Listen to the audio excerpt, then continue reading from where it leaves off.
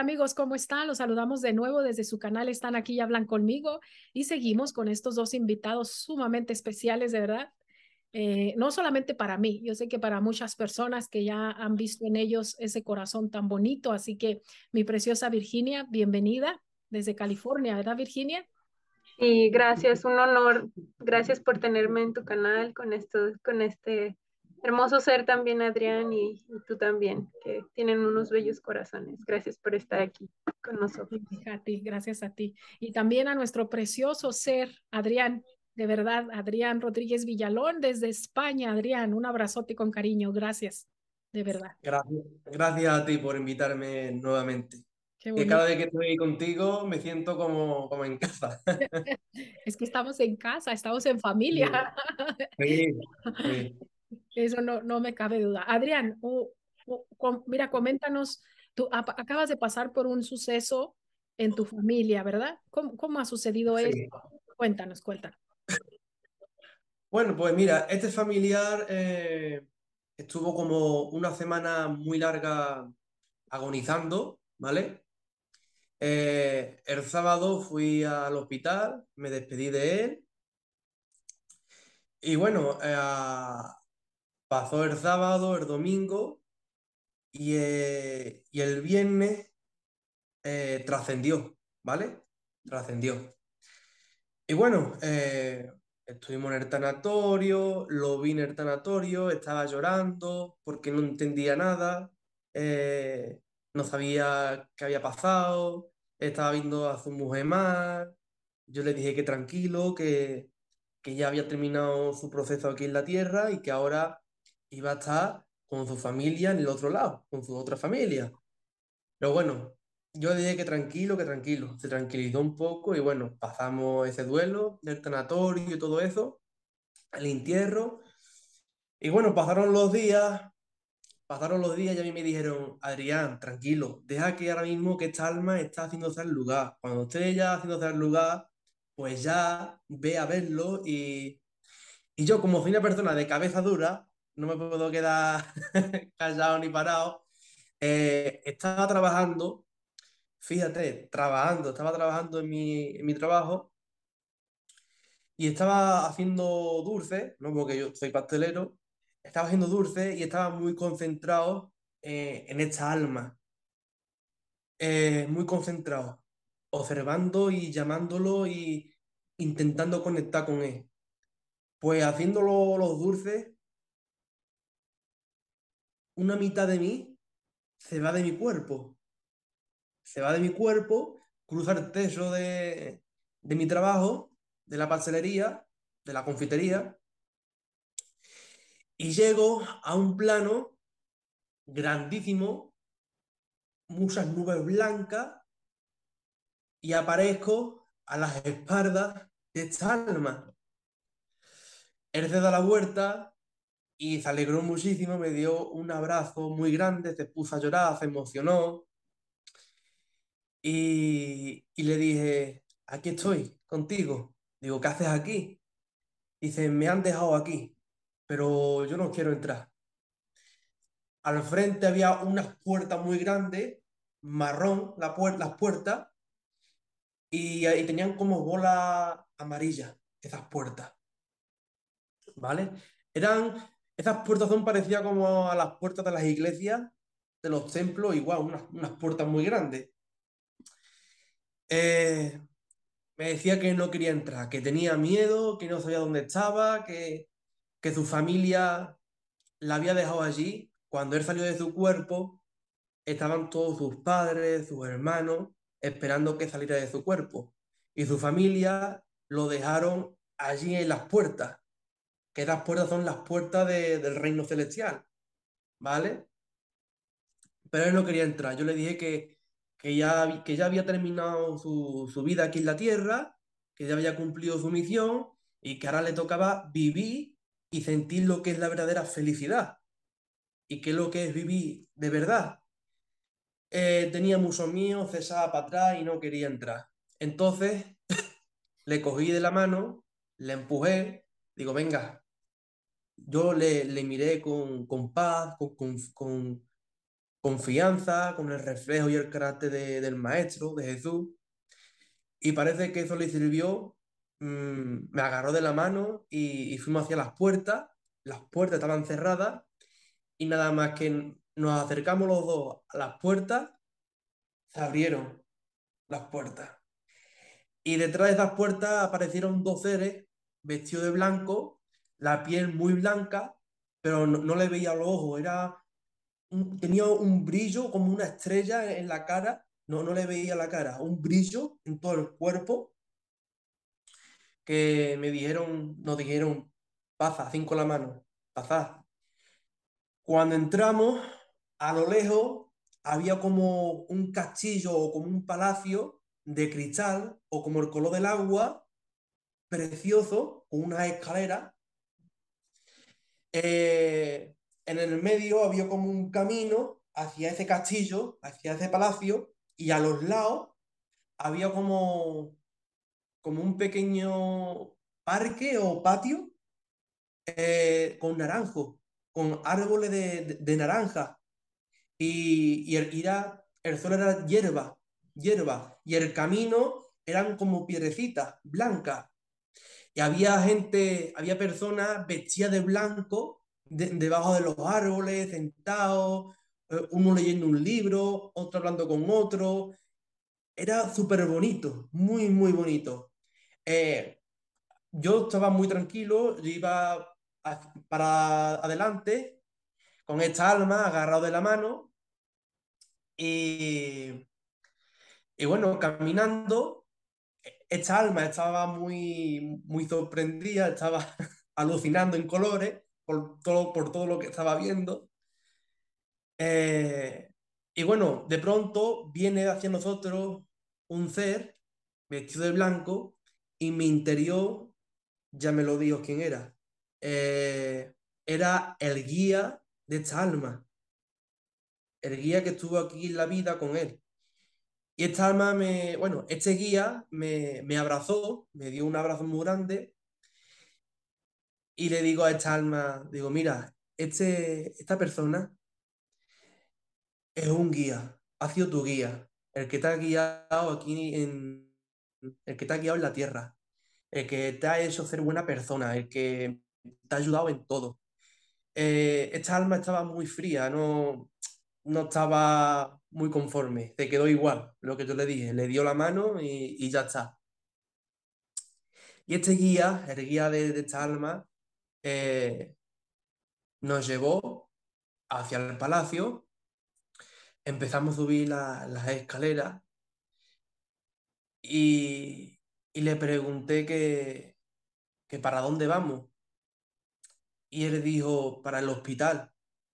Y yo le, le contesté a, este guía, digo, pero este hospital no es como el que yo he visto hace tiempo. Dice, no, este hospital es donde se rejuvenece el alma. Digo, vale, vale, me quedé súper sorprendido. Eh, y me dijo también este guía que, que el reino de Dios es muy grande y bueno, pues estuvimos subiendo las escaleras y llegamos al final y había como un, salón muy grande, un salón súper grande, con camillas, como si fuera camilla del hospital, igual, en el aire. Las camas estaban en el aire, muchas camillas y muchas almas habían trascendido, estaban echadas en esas camas.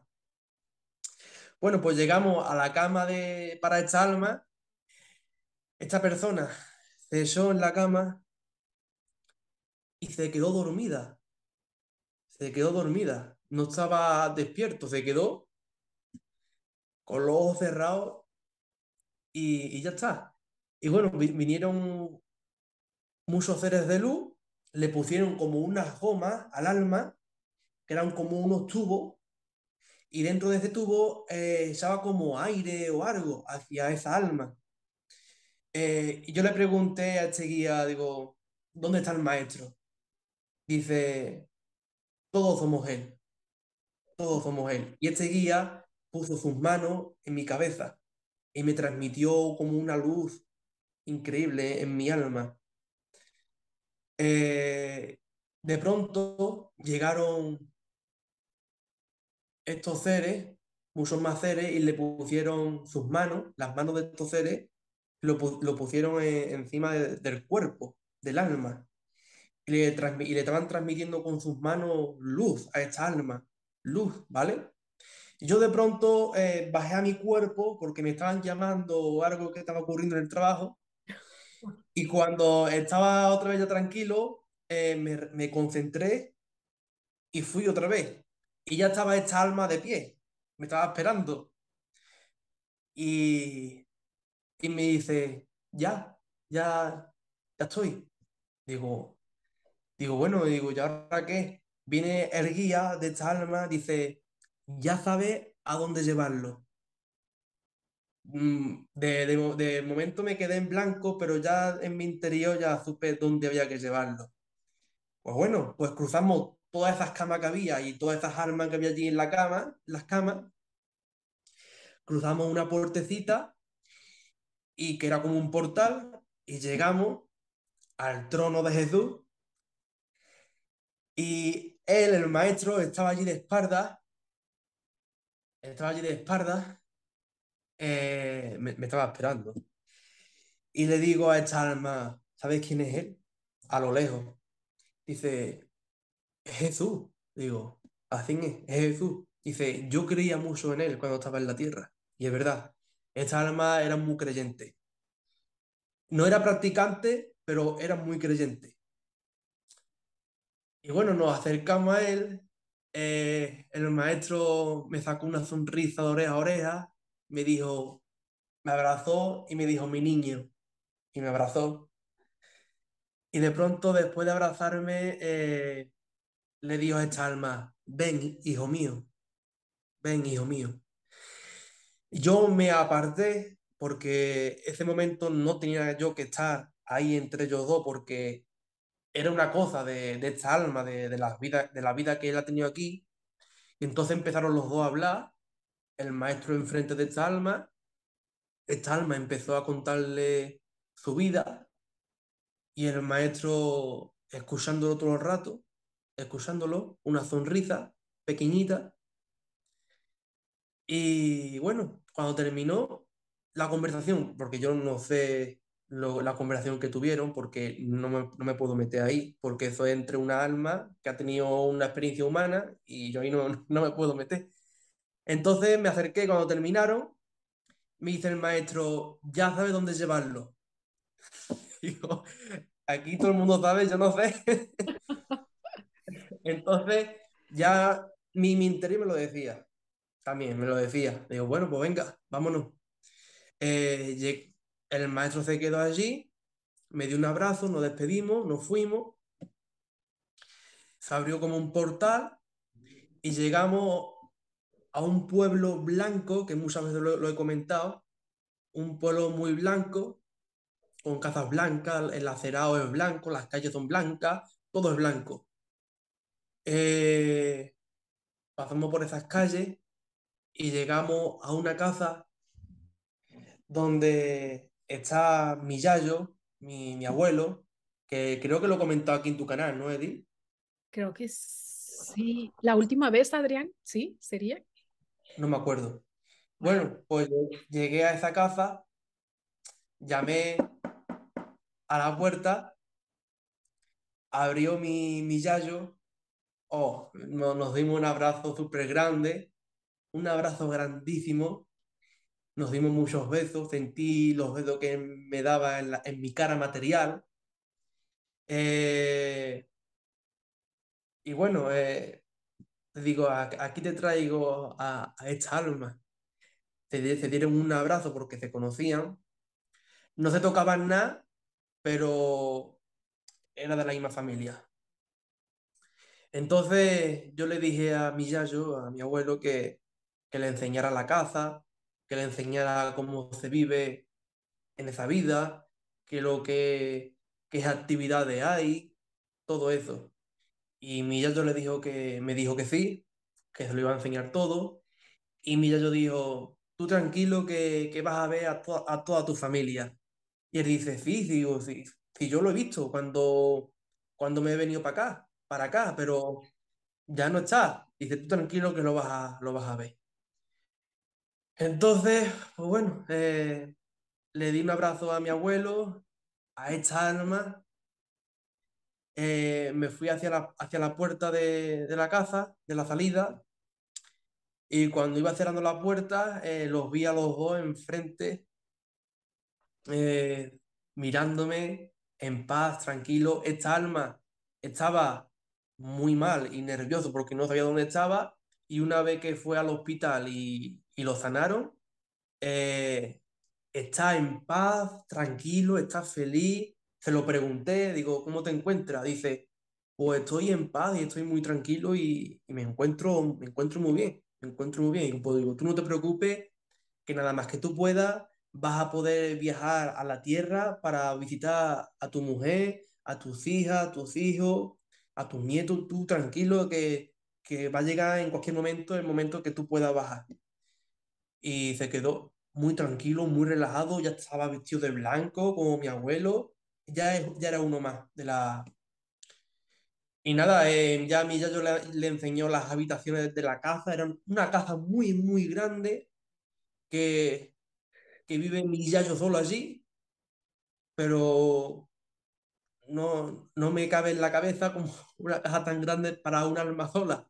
Pero ahora ya está, ahora ya está esta alma el día de mañana, cuando trascienda mi yaya, mi abuela, que, que, esté aquí muchos años conmigo aquí en, aquí en, la tierra, pues estará allí con mi yayo. Y bueno, eh, cuando iba a cerrar la puerta de la salida, los vi a los dos tranquilos, cerré la puerta, me fui por, me fui por esas calles solo y poco a poco iba volviendo a, a mi cuerpo. Mm, y fue increíble, una experiencia después de la muerte. Qué hermoso, Adrián, de verdad que sí, qué bonito. Mi preciosa Virginia, ¿has tenido tú algo, algo así también? Eh, un, me estaba recordando, eh, es diferente, yo en este, en este, me salí, pero yo estaba dormida, no estaba despierta, pero fue algo muy, un poquito similar en cuestión de, de como que ayuda, que estaba ayudando a, un, a, una, a unas, a dos niñas. Me pasó, pero estas no las conocía, yo no sé qué niñas serían, a mí me pasa así que de repente me veo en lugares, digo, ¿dónde estoy? Y ya al rato como que no tan enfocado, ¿no? Como qué linda experiencia que tú dijiste. Ahorita me conecto con mi, con mi familiar y lo voy a llevar, ¿no? Eh, fue más, un poquito diferente. Si gustan les cuento. Eh, esto pasó ya hace años, ya, ya hace años. Em, estaba dormida y me, me salí, me salí en el astral y empecé a verme en una casa. Estaba en una casa vieja, eran paredes altas, altas, eran unos balcones arriba, de esas casas donde hacen un balcón hasta arriba, hasta arriba, viejita, pero grande, grande, se sentía una casa muy, muy grande. Y yo dije, ah, caray, ¿dónde estoy? Estaba oscuras, todo estaba oscuras, había como telarañas, como que una casa abandonada casi. Mm. Iba caminando y de un de repente vi una niña. Volteo a mi lado, era una niña como de unos 6, 7 años era un poco pequeña, andaba vestida con un vestido como blanco, ampón, como de esos, ya ven que tienen bordado por la parte de abajo, así, y luego las mangas como un poco, como así levantadas, ¿no? apomponadas, o sea, su vestuario era, se veía que era de antes. Y con su cabello lacio, eh, un cabello como rubio, la veo y le digo, hola. Y estaba un poco como asustada la niña. ¿Qué, le pasa, no? ¿Qué, ¿Qué, está pasando? Y en eso vi a su hermana, viene una niña un poco más grande, esta niña tendría unos 12 años, se veía un poquito más grande que ella, y la niña le dice, cállate, cállate, no le digas. Entonces yo me sorprendo y le digo, ¿qué pasa? Las vi nerviosas a las dos, las vi como asustadas. Dije, le, le pregunté a la niña, a la chiquita, ¿qué pasa? ¿Qué pasa? ¿Qué pasa, mija? Cuéntame. Le dije, no hay, no hay problema, dime, ¿qué pasa? Y me dijo, es que nos están teniendo en este lugar, me dijo, y estamos asustadas, me dijo, eh, pero mi hermana no quiere que te cuente, me dijo, porque nos vamos a meter en problemas y tengo mucho miedo. Las dos tenían mucho miedo. Y la grande le decía, cállate, cállate, no, no le digas, eh, nos vamos a meter en problemas. Y estaba como muy asustada la grande también. No quería que me dijera. Y la chiquita como que confió en mí y empezó a contarme. Ella me dijo, hay alguien aquí que nos, que nos, no podemos hablar mucho, pero nos tienen en esta casa. Y yo le decía, pero ¿quién es? Yo como queriendo preguntar, ¿no? Y en eso era como si cambiaba el, el ambiente de la casa, porque se empezaba a sentir como una temperatura un poco más fría y se sentía como, yo a veces siento como las presencias, cuando ando en esos planos, como si alguien se me acerca, siento si es como alguien neutral, cuando es alguien hermoso, se siente dentro de tu ser, pero también cuando hay alguien que tiene una intención que a lo mejor no es tan positiva o que está molesto, siento en mi cuerpo como algo, ¿no? Dentro de mi ser, como que me dice, o sea, se siente esa pesadez, se siente como una energía, no sé si me doy a entender. Sí, sí. Y esto me pasa a veces despierto también, pero en esta situación era en el astral. Entonces empecé a sentir esa energía que empezó a cambiar el cuarto. Entonces les dije, vénganse. Entonces me las llevé a las niñas, las saqué de ahí y les decía, vámonos. Y se me encina la piel de, de acordarme en este momento, porque fue un momento, pues, de ellas de tanto miedo, tanto miedo, que yo dije, me las llevo. O sea, sentí como cambió, como que vino una presencia. Entonces entendí que ellas estaban temiendo algo, algo que estaba ahí, que, que era más, como que les estaba causando ese temor, ¿no? Las saco, salgo corriendo, las jalo, le jalé la chiquita y la otra grande pues venía detrás también. Empecé a correr todo, toda la casa afuera salí de la, abrí la puerta de la calle, me salgo y le dije a la niña, ven, ven, le decía a la niña, ven, vamos, vamos, salgan. Y ella me decía, pero es que tengo miedo, tengo miedo, nos vamos a meter en problemas. Yo le decía, no, ven, ven, en verdad, todo va a estar bien. Yo le decía, como intentando calmarla, que no estuvieran tan nerviosas. Entonces, me hace caso, sale de la casa, casi, casi yo jalándola, la saco, la saqué a la niña y empezó a sentirse diferente, ya era como afuera se veía la luz, o sea, había una luz muy, muy grande, muy, muy, muy grande.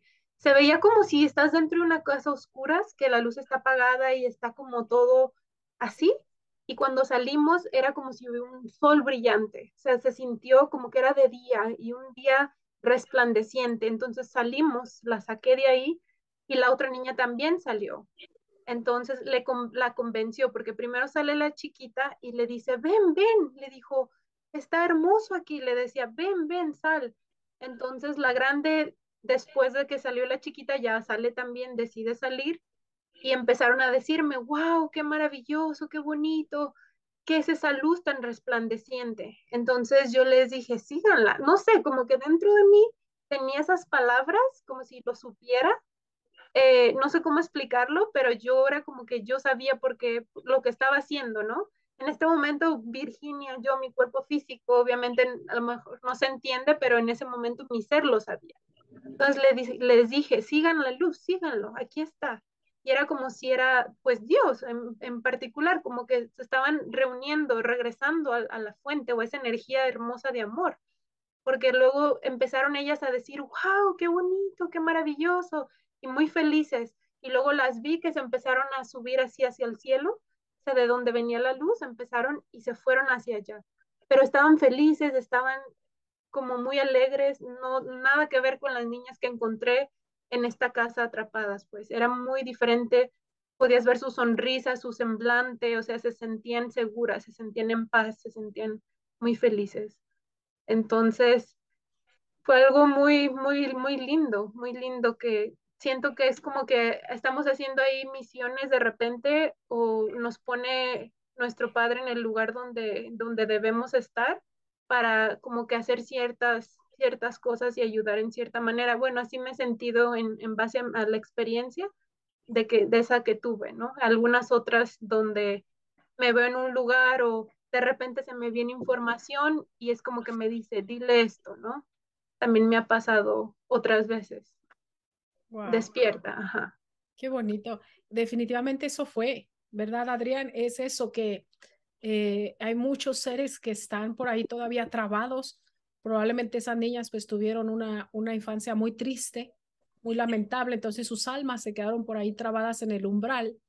Y con esa luz llegaste, mi preciosa Virginia, y la sacaste de esa oscuridad. Entonces, una, una luz que ellas no querían ver porque tenían miedo todavía a esa cosa que las tenía ya atrapadas, esa energía oscura, pero afortunadamente fue una liberación de, la, de esas almas y esas niñas pasaron a la luz de una cosa preciosa. Así que, y eso es de lo que recuerdas porque hay mucho trabajo, muchísimo trabajo el que hacemos durante el, el sueño, durante ese tiempo, pero no todo se recuerda. ¿Qué piensas de esto, Adrián? Cuéntanos. No, que es real, es súper real lo que dice Virginia, porque a día de hoy, eh, claro, como no estamos, como no informa de lo que hay después de la muerte, pues cuando trascendemos, eh, no sabemos dónde estamos.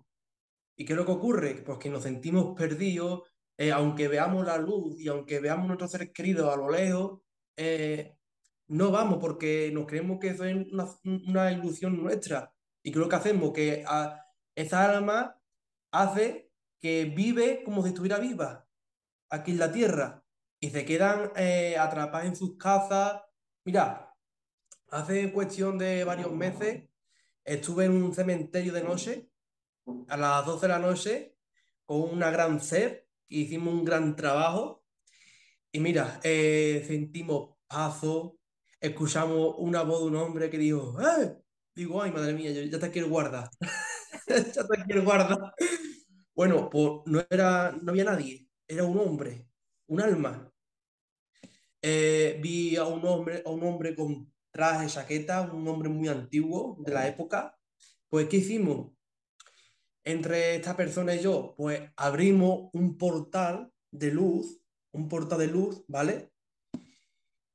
Y, y, llamamos a toda la asistencia de, los guerreros de la luz, de, los, de nuestros guías, de los guardianes, para que fueran los, guías de estas almas perdidas en el cementerio.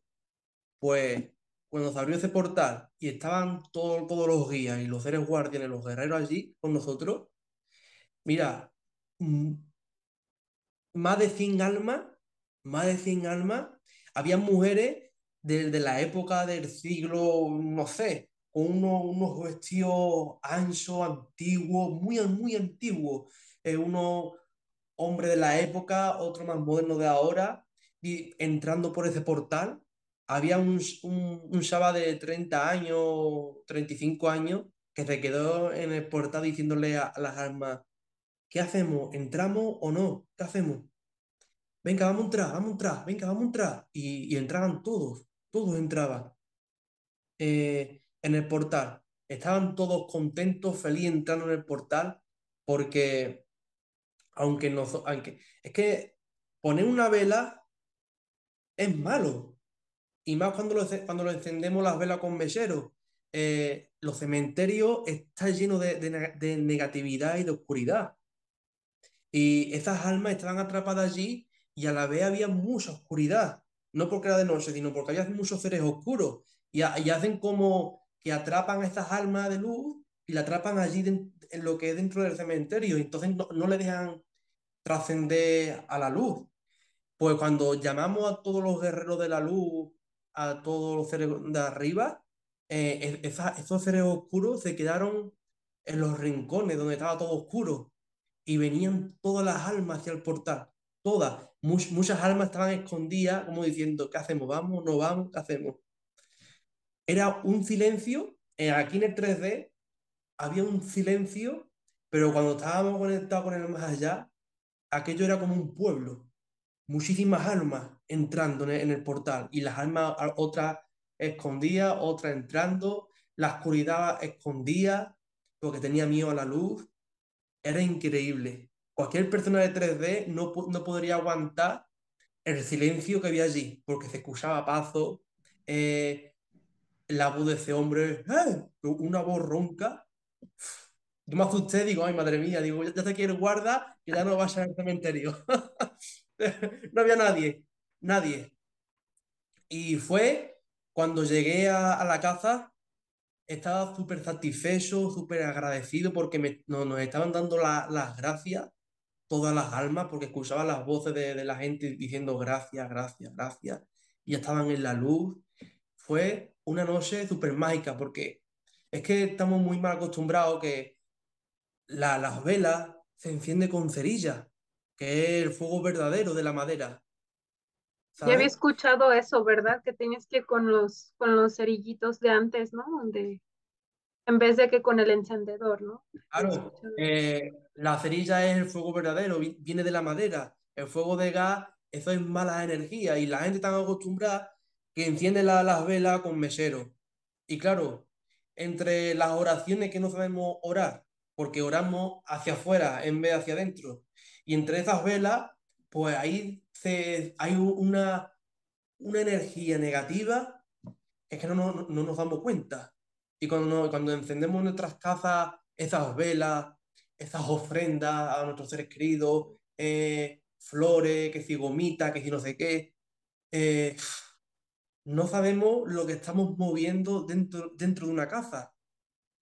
No sabemos, no tenemos ni, ni la misma imaginación de lo que estamos moviendo, porque hay ejércitos de oscuridades y no sabemos el portal que estamos abriendo, que eso puede traer muchas consecuencias. Te puede entrar cualquier enfermedad, malestar en el cuerpo, eh, ira, odio, eh, te, va, te puede ir mal en, la economía, en la vida, pero todo es porque esas cosas que tú estás abriendo, esos portales que tú abres en tu casa, que tú lo haces con buena intención, sí, pero hay que coger información cómo hay que hacer las cosas y cómo hacer la protección para hacer encender esa vela para tu ser querido, porque es que si no, es que tu casa se llena de, negatividad y, vienen personas perdidas a tu casa. ¿Y qué, y hacen esas, personas perdidas? Que lo hacen sin querer, que te chupan la energía, te chupan la energía sin querer, porque se pegan a ti y, y te sientas mal. Y entonces cuando decimos, qué mal me encuentro, eh, ya empezamos a llorar y a pedirle a Dios. Y cuando, cuando Dios no tiene culpa, y después decimos que hay que ver que Dios no hace nada por nosotros, que me encuentro muy mal, que... Pero es que si la culpa la tiene tú, porque es que debemos de coger conocimiento realmente cómo hay que hacer las cosas en la vida y qué es lo que somos realmente nosotros y que la muerte no existe, que si, que si tú no pones una vela no pasa nada porque tu ser querido está en la luz y está viviendo mejor, mejor que nosotros. Mucha gente tiene esa tradición, ¿verdad? Desafortunadamente a veces se convierte en una, en una tradición, ¿verdad? Como, como eso de los altares y todo. Es una tradición de miles de años que, que mucha gente tiene, pero sí es importante conocer ese tipo de, de cosas para, para eso, ¿verdad? Para hacer las cosas. Yo soy el primero que, que voy al cementerio con mi familia y le pongo su vela a mis abuelos, una vela con cerilla, y le hago protección a la vela a nosotros y para que esa vela ilumine eh, lo que es todo el cementerio. Pero es que hay, que saber, porque es que las personas, eh, la humanidad, está acostumbrada eh, que oramos hacia el exterior, hacia, hacia Dios. Y no es así, tenemos que orar hacia adentro, porque Dios está dentro de nosotros. Tenemos que confiar en nosotros y, y orar para nosotros. Y cuando hagamos eso hacia nosotros, lo estamos haciendo hacia Dios, porque es que Dios está en nosotros. Por ejemplo, yo, tengo esta agua aquí.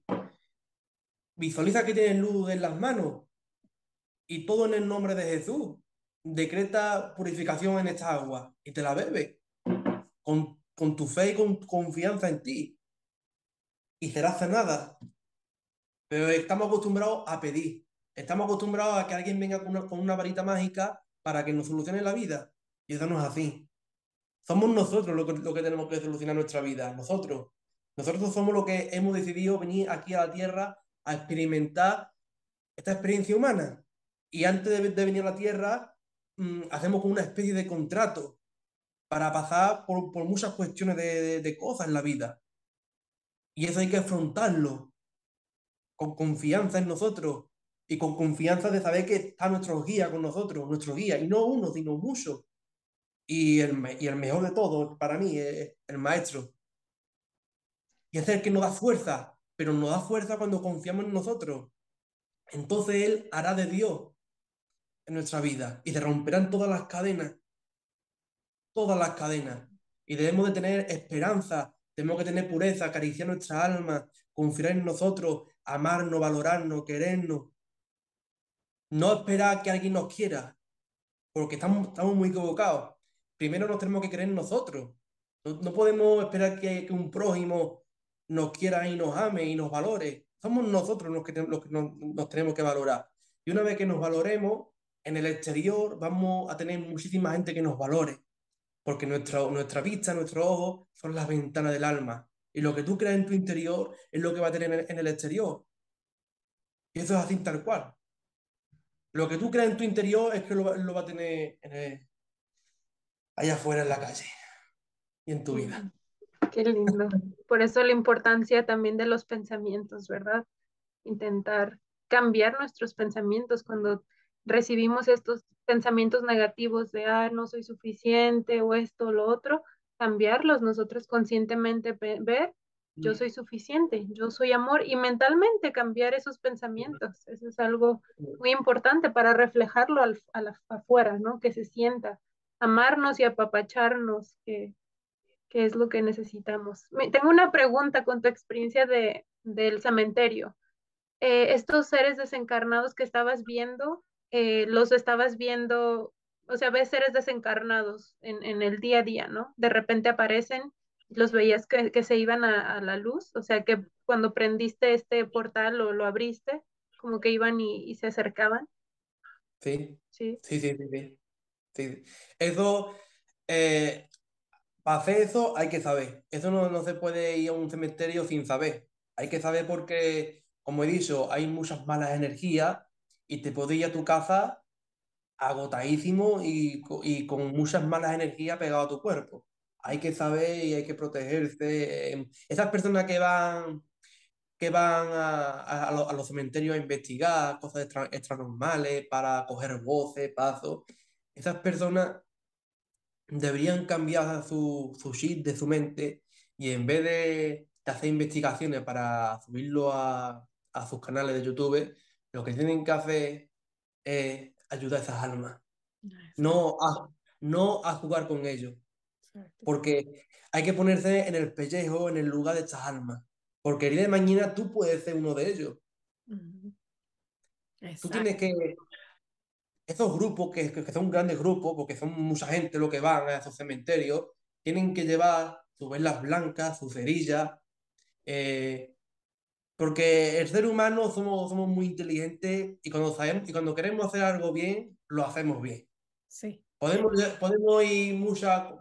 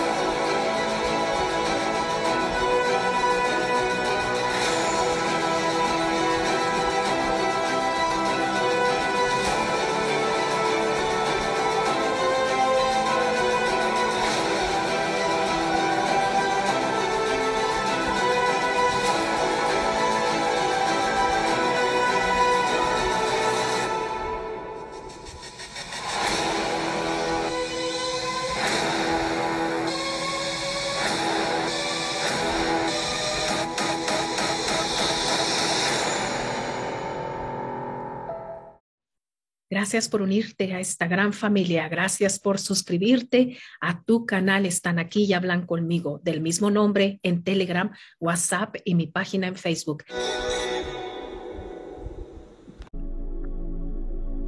Estrella ya está aquí, el fin de los contratos del alma y de la rueda del samsara. Pronto en digital también para todos aquellos que lo han pedido. Y gracias, gracias por los ratings que me han regalado los que ya lo han leído. Gracias, les mando un abrazo con todo mi corazón. Ya está Maitreya en Amazon. Gracias.